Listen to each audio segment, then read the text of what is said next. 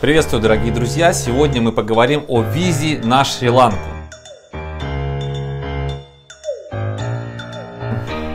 Что нужно знать о визе на Шри-Ланку? Ну, во-первых, друзья, здесь нет ничего страшного, да, не нужно собирать какой-то огромный пакет документов, а, выделать какие-то выписки со счетов, фотографии, все такое отнести, сдавать этого всего, друзья, ничего не нужно.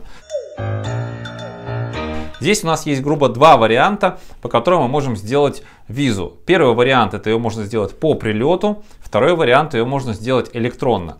В общем, обо всем этом я сейчас все подробно расскажу. Здесь есть некоторые свои нюансы, но э, мы сейчас все с вами разложим и все станет на свои места.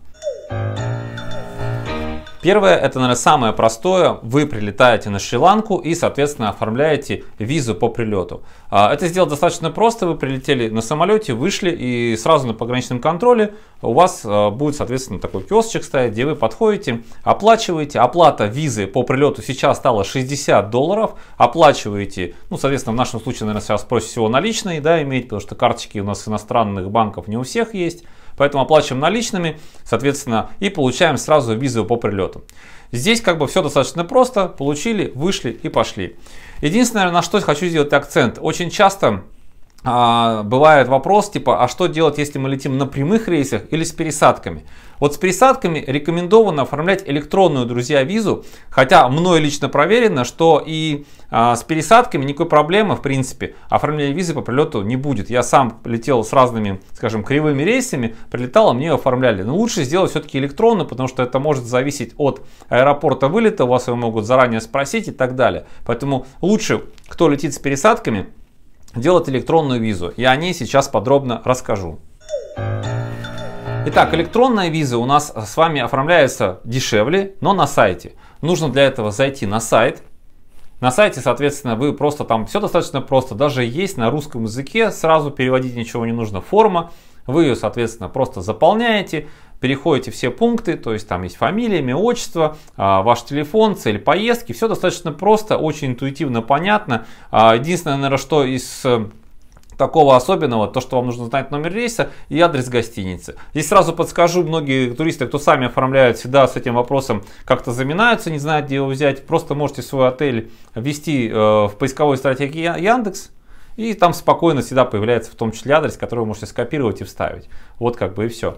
Ну и, соответственно, сумма э, визы онлайн, она составляет 50 долларов. Ее можно оплатить сразу, не можно, а нужно оплатить прямо сразу на сайте. И тут, соответственно, у нас с вами возникает вопрос, как это сделать в наших текущих реалиях, э, потому что карты российских банков, соответственно, не принимают иностранные сайты. И здесь есть ответа два. Вариант номер один. Э, у вас есть иностранная карта, Соответственно, или у вас есть э, карта платежной системы Union Pay, например, Почта Банк или Россельхозбанк.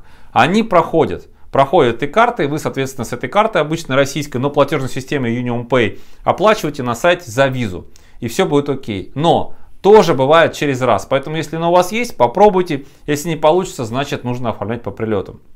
И еще есть один вариант, если все-таки как бы нужна будет электронная виза, а, приобретая туры у туроператоров, естественно, у многих операторов есть дополнительная услуга, вы можете сразу заказать э, электронные визы. Она чуть-чуть дороже на 10 долларов, сразу ее оплачиваете, и уже туроператор самостоятельно за вас заполняет все эти формы и оформляет электронную визу. И уже когда вы вылетаете, перед вылетом документы, ваучеры на отель, страховки и электронные визы будут вам выданы, и вам не нужно ни с чем с этим заморачиваться.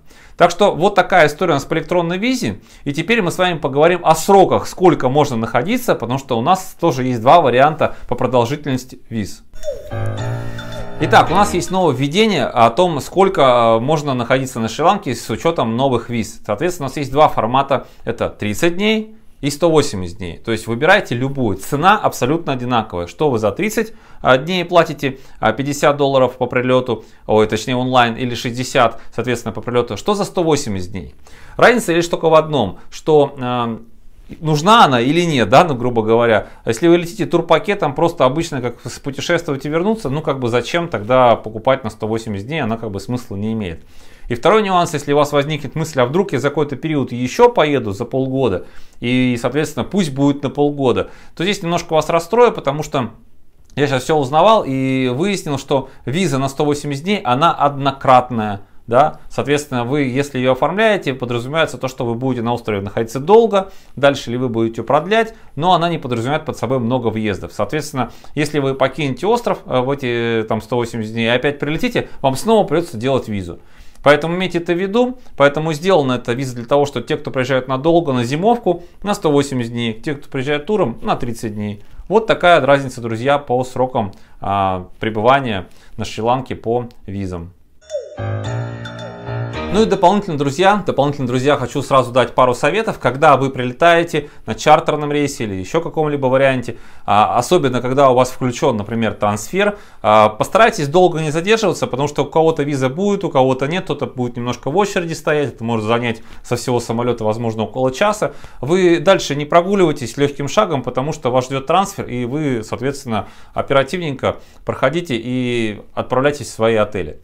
Здесь дополнительно еще хочу отметить, что в аэропорту вы точно так же можете а, получить карту People's Bank. Ну, это, наверное, отдельная совсем история. Сейчас есть возможность оформлять карты дистанционно в России. И по прилету вам уже будет выдана а, иностранная карта People's Bank прямо в самом аэропорту.